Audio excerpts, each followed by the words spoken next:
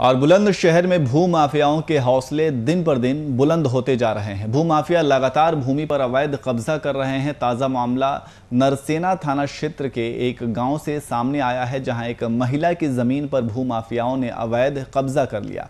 पीड़ित महिला ने कई बार स्थानीय पुलिस से शिकायत की, लेकिन बावजूद इसके महिला की नहीं सुनी।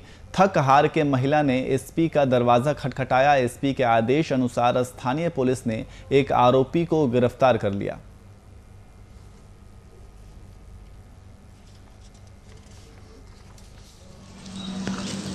आदमी ने प्लॉट लिया।